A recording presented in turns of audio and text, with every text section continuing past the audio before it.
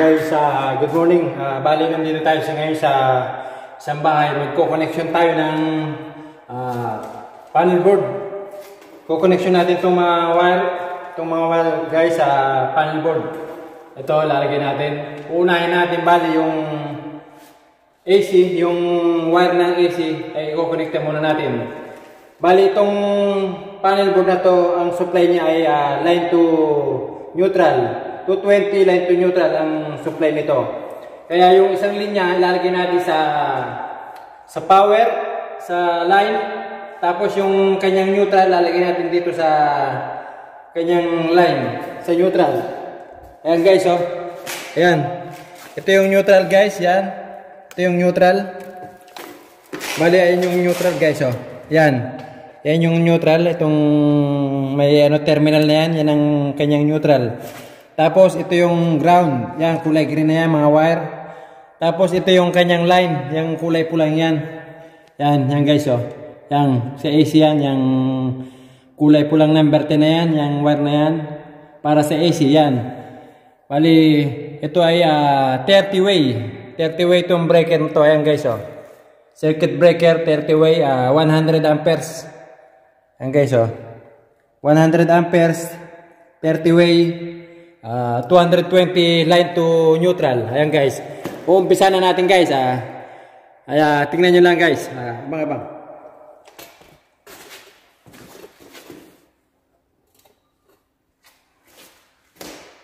Bali, unahin natin yung mga AC. Yung dalawang kulay ito, isang pula sa isang itim, number 10. Bali, yung kulay pula ay ilalagay natin dito sa breaker na 32 amperes. Tapos yung kanyang neutral, yung black, lalagay natin dito sa neutral uh, terminal. Ang guys. Bali sa AC na tayo, tapos na natin yung room 1, room 2, room 3, saka yung store, saka dalawang sala. Bali, ang susunod natin guys ay yung kitchen.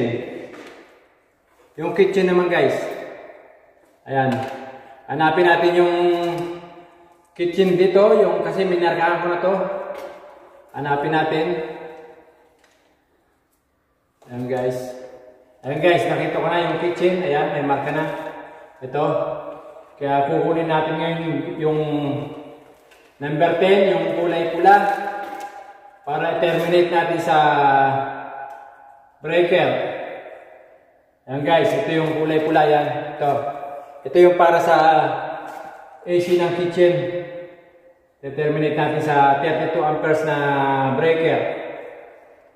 And guys, uh, kailangan nakaayos yan guys. Kaya guys, uh, make sure na maigpit yung pagkaka pagkakahigpit nyo sa breaker, sa terminal ng breaker para hindi mag-loose.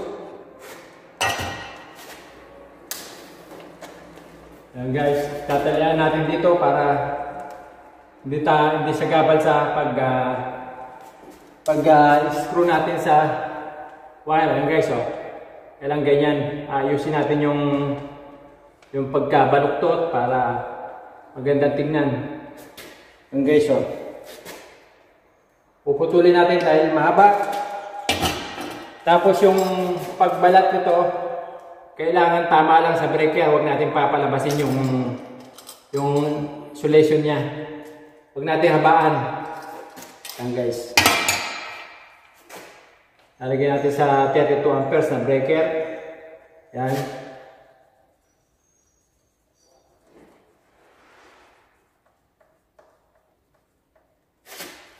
Kaya may fit guys ha. Mabuti para di mag-loose.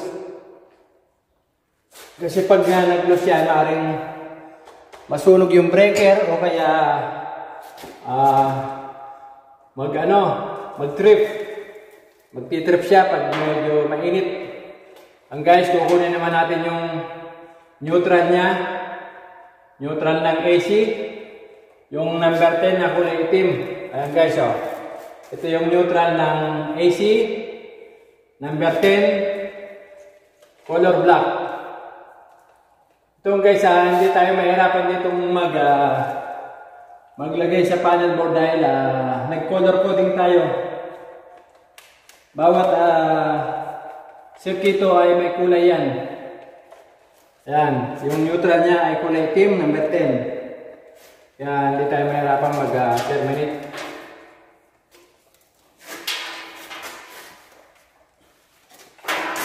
Mali, ilalagay mo natin dito para hindi tayo may nagtatali mo natin dito. Yan.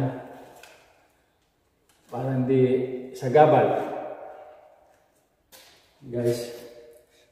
Ngayon, puporma natin yan dito sa ano, sa neutral niya. Sa terminal ng neutral yan. Tapos, ah, puputulin natin dahil mahaba. Yan guys, so kulay itim yung sa neutral niya. Ganun din guys, ha, kailangan wag uh, masyadong mahaba yung uh, pagbalat dito sa ano sa wire. Kailan tama lang sa ano sa haba ng terminal. Huwag nating palampasin. Tapos, higpitan natin mabuti.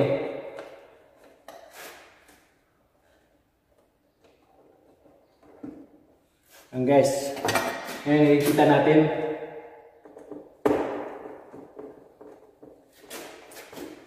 Papakita ko sa inyo guys pag uh, natapos na, papakita ko sa inyo kung paano ang pagkakaayos natin.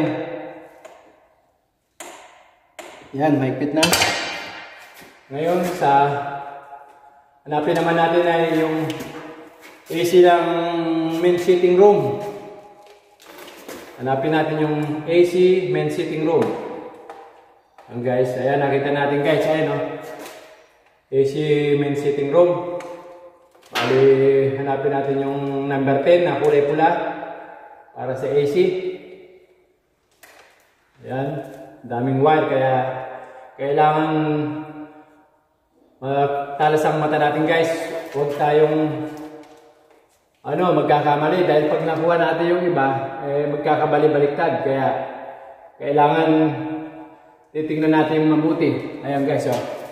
Bali, ito yung circuito ng main sitting room yan. Yung dalawang number 10 yan. Dalawang number 10, uh, red and black para sa AC. Uh, dalawang number 12, red and black para sa ilaw. At saka yung yellow blue para sa sa outlet. Convenience outlet. Uh, guys, uh, kukunin man natin yung ano dyan dito. Yung kulay red, kulay pula.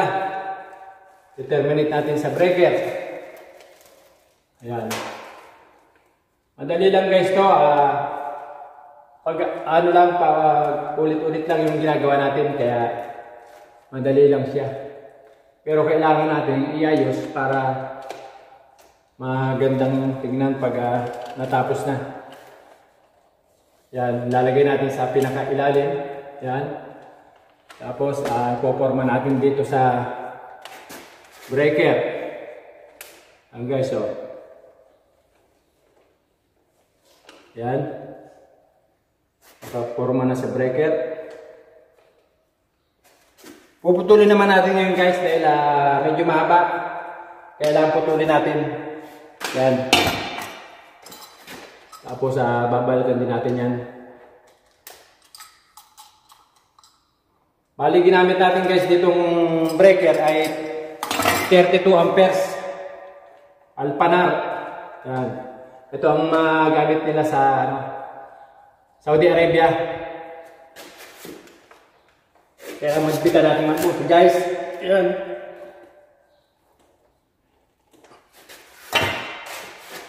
Ngayon naman ay yung kulay itim, number 10. Sa neutral ng AC.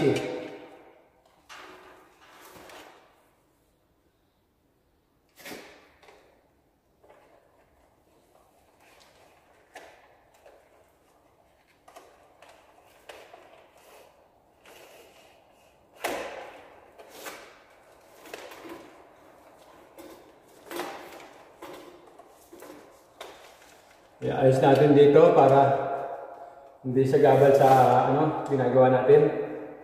Yan. Terminate natin tong neutral ng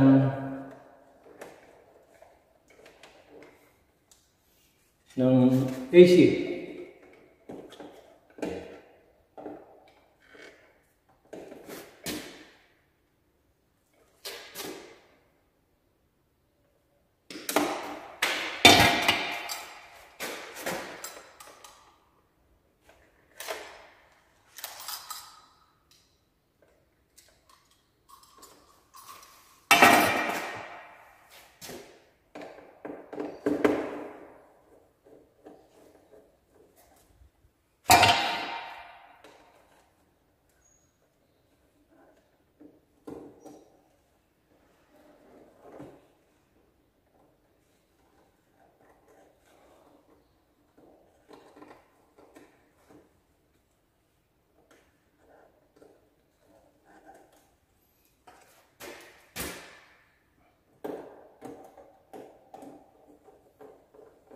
Ayan guys, mahigpit na.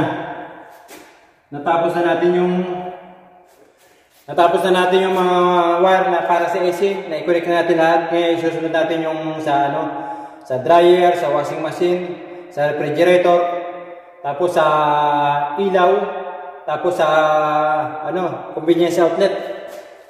Yan guys.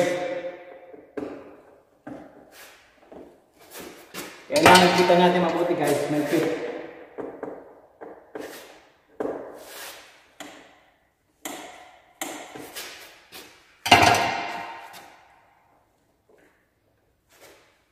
O sige guys, uh, abang-abang na lang. Uh, mamaya i-update ko kayo pag uh, natapos ko na itong ginagawa ko. A few moments later. Hello guys, uh, bali natapos na natin yung pag-terminate sa breaker. Ang guys oh, ayan nakaayos na. Ayan, inayos na natin. Naka-terminate na siya lahat. Ayan guys. Ayan. Bali kanya-kanyang sirkito yan. Itong sa linyan to ay puro sa AC, sa mga washing machine, sa water heater. Yan linya niyan. Tapos dito naman ay sa lighting, saka sa convenience outlet. Ayan guys oh. Naayos na natin. Bali may kuryente yan guys uh, nilagyan na natin power dahil may temporary dito kaya nilagyan natin ng uh, power. Ang guys oh. Kasi guys hanggang dito na lang. Uh, kung di ka pa nakapag-subscribe sa aking channel please subscribe. Uh, pindutin lang yung subscribe button dyan at saka yung notification bell para updated ka sa gagawin ko pang mga video. Maraming salamat